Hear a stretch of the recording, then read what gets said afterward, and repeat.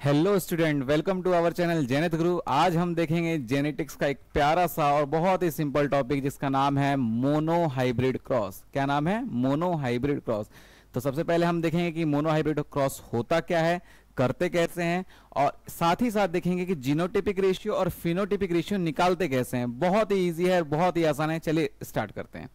तो देखिए mono hybrid cross की डेफिनेशन क्या है? तो सबसे पहले ये हम देखते हैं कि मोनो हाइब्रिड क्रॉस होता क्या है। जब भी हम एक करेक्टर की स्टडी एक टाइम पे करते हैं। मान लीजिए, कोई सा भी करेक्टर आप उठाइए और उसकी स्टडी एक ही टाइम पे करना है आपको, ठीक है? तो उसे हम कहेंगे मोनो हाइब्रिड क्रॉस क्या कहेंगे? मोनो हाइब्रिड क्रॉस डेफिनेशन लिखता हूँ मैं। Yes study of study of one character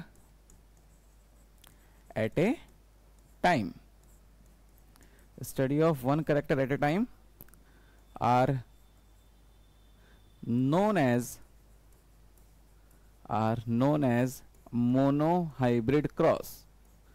Are known as monohybrid cross. यानी कि जब जब हम एक स्टडी का, एक करेक्टर की स्टडी एक टाइम पे करेंगे तो उसे हम बोलेंगे मोनो हाइब्रिड क्रॉस अगर दो करेक्टर की स्टडी एक टाइम पे करेंगे तो क्या बोलेंगे उसे? डाई हाइब्रिड क्रॉस एग्ज़ाम्पल के लिए जैसे कि मान लीजिए, जैसे मेंडल ने अपने ही एक्सपेरिमेंट में लिया था, उसने प्लांट हाइट ली थी टॉल तो उसने एक टाइम पे टॉल ही लिया था। अब उसके साथ प्लांट हाइट के साथ उसने सीड कलर इंक्लूड नहीं किया ना। उसने सीड कलर इंक्लूड किया सीड शेप के साथ उसका वो दूसरा क्रॉस बन गया, जिसको हम आज डाईहाइब्रिड क्रॉस के नाम से जानते हैं। तो पहला है, जब भी हम एक करेक्टर की स्टडी एक टाइम पे करेंगे तो उसे हम बोलेंगे मोनो हाइब्रिड क्रॉस ठीक? ये उसकी हो गई डेफिनेशन चलिए, अब हम देखते हैं कि करते कैसे हैं मोनोहाइब्रिड क्रॉस। उसका फॉर्मेट देखेंगे। तो सबसे पहले हमें करेक्टर लेना है। तो एग्ज़ाम्पल के तौर पे मैं लेता हूँ कि प्लांट हाइट लेता हूँ, जो कि आपके एनसीआईटी की बुक में दे रखा है एग्ज़ाम्पल तो देखते हैं। मान लीजिए प्लांट हाइट के लिए जो जीन रिस्पॉन्सिबल है, वो है कैपिटल टी कैपिटल टी की वजह से जो प्लांट है, वो टॉल हो रहा है। ठीक है? तो इसका एल क्या होगा? स्मॉल टी यानी कैपिटल टी की वजह से कोई प्लांट टॉल हो रहा है तो स्मॉल टी की वजह से क्या होगा? ड्वार्फ होगा। ठीक है? अब हमें इसको क्या करना है? क्रॉस कराना है। अब क्रॉस कैसे कराएँगे देखिए। पहला तो लेते हैं पेरेंट्स जनरेशन। एक मिनट।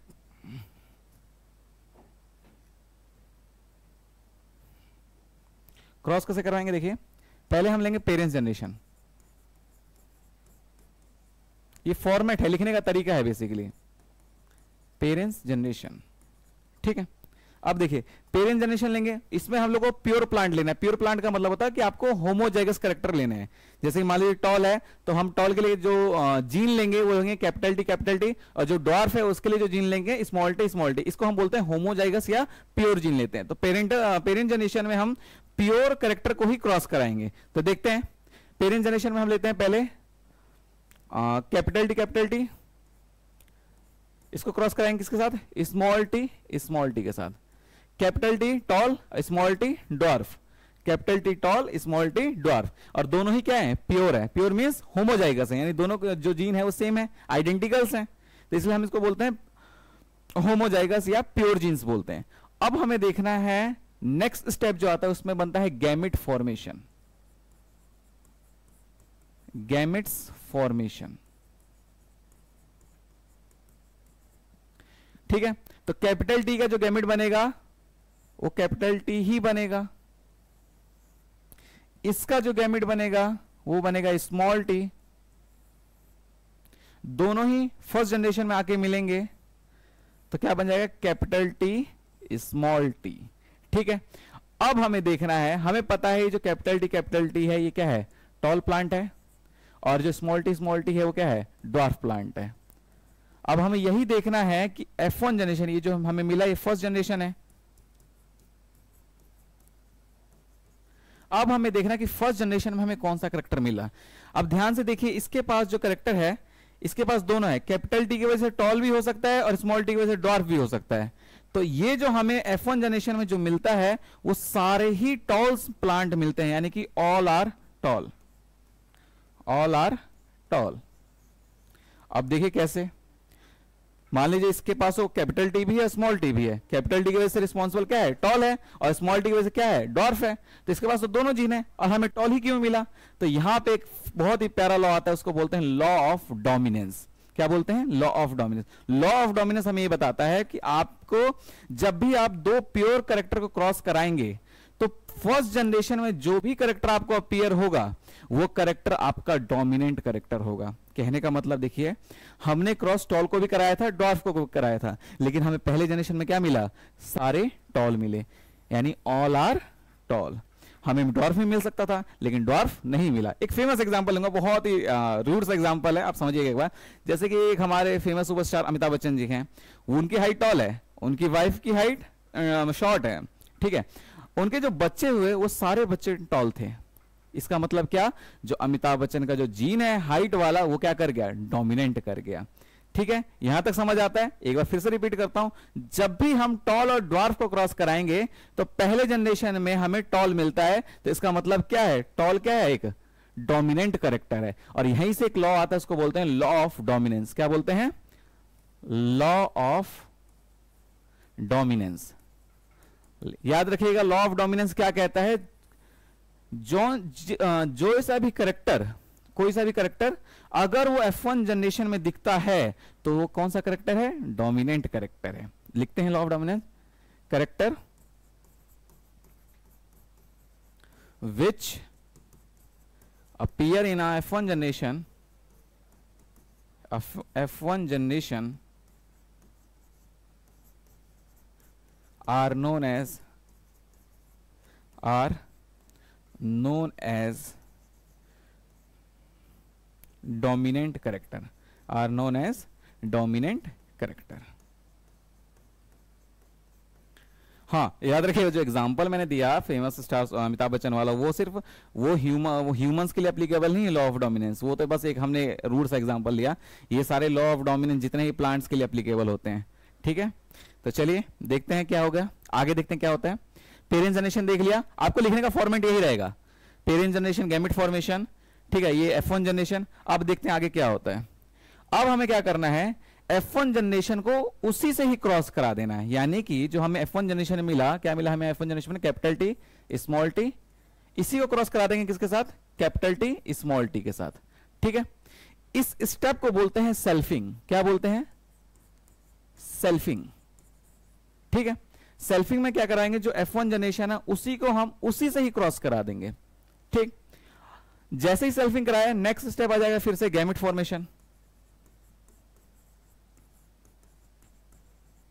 गैमिट्स फॉर्मेशन अब यहाँ पे दो तरह के गैमिट्स बनेंगे कैपिटल टी और स्मॉल टी तो गैमिट लिख लेंगे।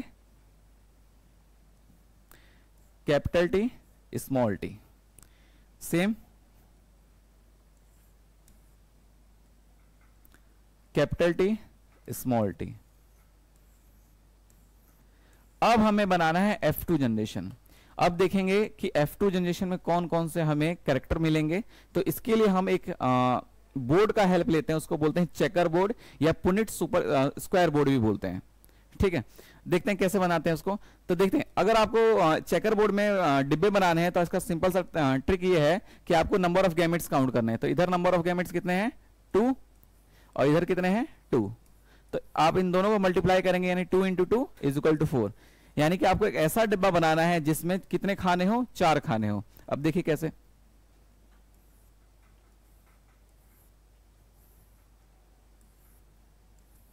ठीक है? ये बन गया बॉक्स इसमें चार खाने हैं आपके। एक, दो, तीन, चार। अब देखें। अब आपको इसमें सिर्फ़ सिंपल सा गैमेट्स को प्लेस कर देना है।